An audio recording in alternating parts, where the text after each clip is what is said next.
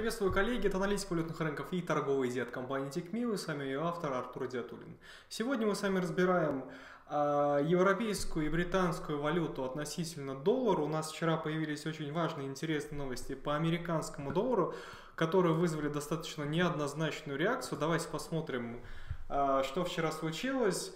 Вероятно, вы следили за этим отчетом, следили за экономическим календарем. Самым главным событием было, конечно же, а, инфляция а, в США, базовая инфляция и общая инфляция. И, разумеется, они удивили нас а, с положительным сюрпризом отклонение вверх и здесь, и здесь. Получается, месячная инфляция также выросла. На самом деле все к этому шло, мы с вами это обсуждали. У нас в США и в Китае данные, которые вышли чуть раньше, показали, что а, производственная инфляция, то есть э, э, инфляция цен на промежуточные товары, то есть не на конечные товары, которые дальше используются в цепочке производства, они показали положительный сильный скачок, который превзошел ожидания как в США, так и э, в Китае. И, в общем, это обычно является предвестником инфляции в конечных ценах, что, собственно, и произошло. Мы видим, что в марте инфляция превзошла прогнозы. И вроде бы, вроде бы, у нас есть история с тем, что э, долгосрочные банды в США, вот эти treasuries, да, казначейские облигации, они очень сильно реагируют сейчас на риски инфляции. Ну, то есть, если у нас выходят данные, которые подтверждают, что инфляция ускоряется, либо ускорится в будущем, это подстегивает инфляционные ожидания, и понятное дело, что если у нас есть инструмент, который приносит фиксированный некоторый поток платежей, то есть облигация, а, высокая, более высокая инфляция в будущем, это значит, что будущие потоки платежей по облигации, их покупательская способность, инфляция будет их разъедать сильнее, поэтому они должны стоить дешевле. Это все должно было выражаться в том, что э, цена на облигации на трежере долгосрочной падает, когда у нас падает цена облигации, растет доходность. Другими словами, ожидалось, что данный отчет, данные значения, превышение прогнозов, вот сверху именно, да, положительный сюрприз, должен был вызвать рост доходности долгосрочных бандов. Ожидалось, э, что произойдет именно так, при этом, учитывая положительную связь американского доллара с доходностью, ожидалось, что и доллар вырастет. Но, но, к удивлению многих, произошло обратное. У нас вчера индекс доллара как раз-таки на данных. А, вот здесь примерно произошел релиз. Вот здесь у нас он вот, вот э, начал очень резко снижаться, быстро очень снизился, пробил 92, ушел ниже, и сейчас там держится без, без каких-то намеков даже на возвращение. А, в то же время, в то же время по, а, по доллару по доллару. По евро-доллару мы увидели следующую картину. У нас на выходе данных, точнее давайте так, перед выходом данных у нас был вот этот паттерн. Вот этот паттерн, у нас был флаг, он формировался и как раз таки на выходе данных по инфляции произошел, э, произошел рост пара евро-доллар в соответствии э, с сутью паттерна, с его значением, это паттерн продолжения, и да, тренд продолжился, мы вышли вот сюда. И, в общем, мы приблизились к критической области, а, Сейчас мы поговорим, да, что это значит, что это за критическая область и как вообще тут нужно э, пытаться отыгрываться. Но вот давайте сразу замечу, что у нас остальные данные, не только инфляция, вот это неоднозначно. Но и другие данные показывают, что а, доллары сейчас все меньше и меньше нужно покупать, нужно осторожно относиться к покупкам доллара. У нас есть данные а, COT, вот эти данные по фьючерсам, да, которые еженедельно публикуются, публикуются там позиции спекулянтов, позиции маркетмейкеров и прочих, и прочих, в них как раз-таки указывается, ну, в целом расстановка сил относительно а, тех, кто хочет покупать и продавать доллар. Так вот, если вы следите за этими данными, у нас а, чистая позиция спекулянтов в этих данных, она приблизилась к нейтральной, то есть там практически по доллару не осталось шартов, осталось лишь 2% от открытого интереса у нас шартов.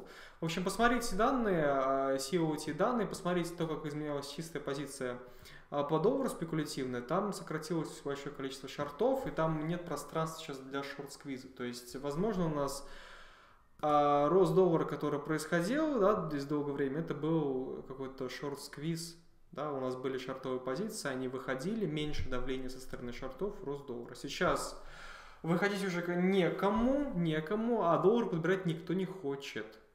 И это все ведет э, к тому, что один из факторов повышательного давления в долларе, он вот ликвидировался практически.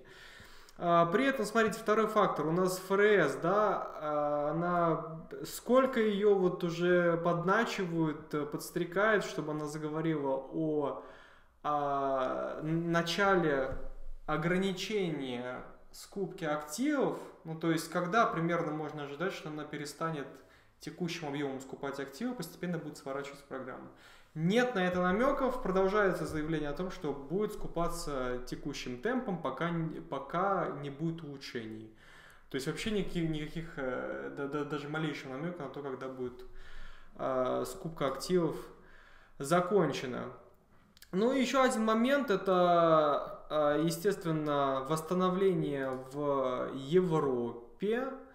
А, мы знаем, да, что у нас на этой неделе, на прошлой неделе вышел ряд данных очень хороших по еврозоне, которые показали, что постепенно они там от локдаунов избавляются, постепенно восстанавливаются после локдаунов. И а, это означает, что экономическое восстановление, оно будет более синхронным. И как раз таки несинхронное восстановление, США лучше, Европа отстает, это было фактором спроса на доллар. Сейчас, как мы видим, этот фактор, он теряет значение, потому что восстановление становится более синхронным. А, как я уже заметил, мы здесь отработали у нас по евро-доллару флаг, а, приблизились, внимание, к вот, вот здесь, к уровню 1.1960. Ранее мы с вами обсуждали, что это у нас пересечение вот такого вот, э, сейчас будет ли видно, нет здесь, вот такого вот э, нисходящего коридора, который у нас длительное время, это вот прям с коррекцией, с пиковой коррекцией до евро-доллара в этом году, который у нас тянется. И пересечение вот этого, соответственно, уровня, который при пробое, когда мы шли вниз, вниз опять здесь отскочили, он уже стал у нас э, сопротивлением. Когда мы вот уж стукнулись, ушли вверх, прошили вниз, все, у нас уже сопротивление, мы вот ушли ниже, здесь отскочили, вернулись, собственно, сюда, да, вот следите, да, за ходом мысли, за ходом рассуждений. Собственно, мы приблизились к пересечению двух этих э, уровней, ну, с точки теханализа, пересечения двух вот таких вот уровней, верхняя граница трендового коридора нисходящего, плюс э, вот здесь горизонтальная поддержка говорит, что здесь должно быть что здесь должны медведи как-то посопротивляться, э, не пустить выше. Поэтому, поэтому э, тактически э, я бы сыграл так, точнее я уже играю так. Э, значит, короткая, длинная, точнее, позиция у нас по, э, по евро-доллару в расчете, смотрите, что будет уровень у нас 1.20, на момент мы вот здесь дойдем до уровня 1.20.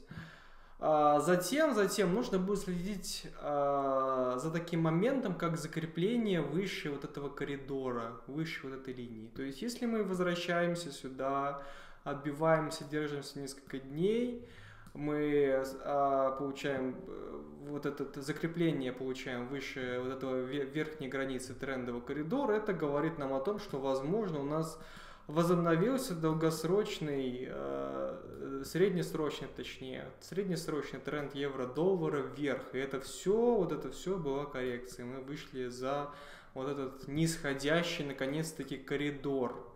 Мы вышли за него. Вот, собственно, если такое происходит, если мы закрепляемся выше этого уровня, а, то нужно вот рассматривать именно какие-то среднесрочные покупки, потому что, ну, на мой взгляд, это будет важным э, сигналом. Вот. А пока тактически, тактически, это вот э, ожидание, что на момент мы все-таки дотянемся до уровня 1.20, затем здесь будет какой-то от круглого уровня отбой вниз, а, да, и смотрим, будет ли там закрепление или нет. Ну, собственно, вот, мы как бы, я вот вышел э, с уровня, получается, чуть выше 1 1585, чуть выше получается. 15.89, да, а, мы рассматриваем как раз-таки с э, коротким стопом здесь. Я поставил уровень 1.19.430 с коротким стопом. Я рассматриваю как раз-таки тактически, что вытянут а, евро-доллар выше, вытянут к э, уровню 1.20. И там уже мы отыгрываем вниз и смотрим, собственно, вот это, будет ли вот здесь закрепление э, выше вот этих пересечения этих двух уровней или нет. Если будет удачно, будем говорить о том, что рассчитывать, что какие-то среднесрочные покупки а, по доллару, они вновь обретают смысл, и нужно их рассматривать.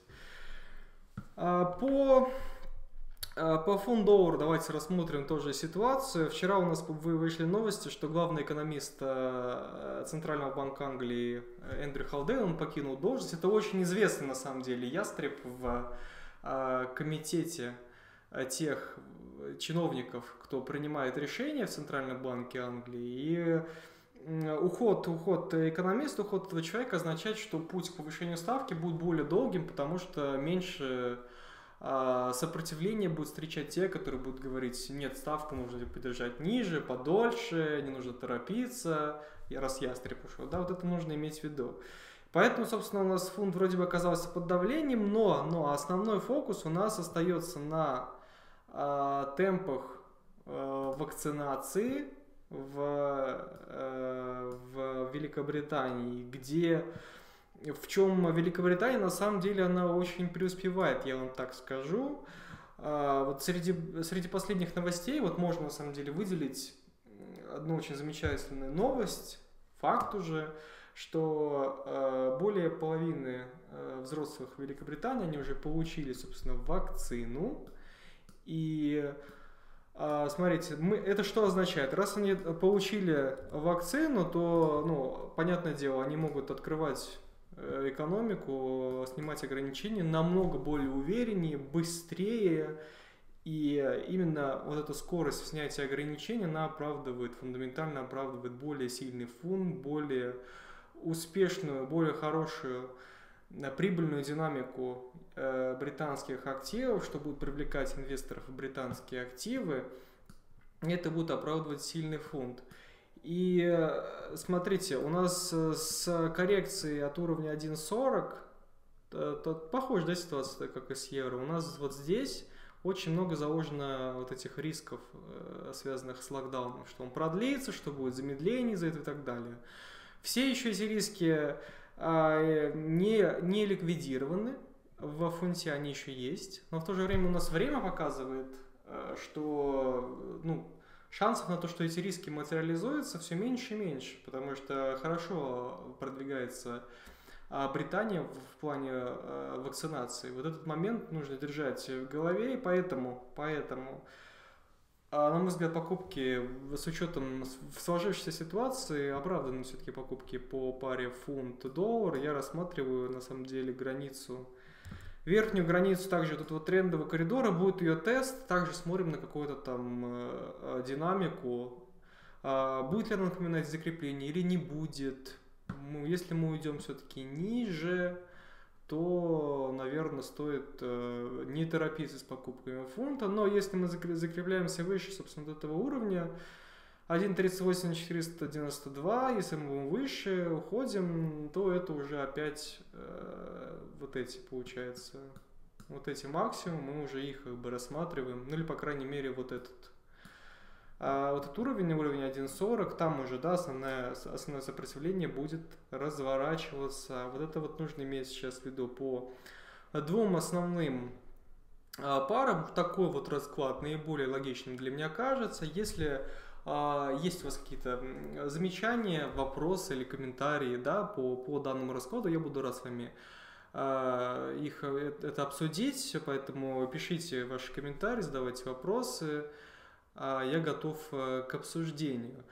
На этом э, я завершаю свой обзор. Всего доброго, торгуйте в профит.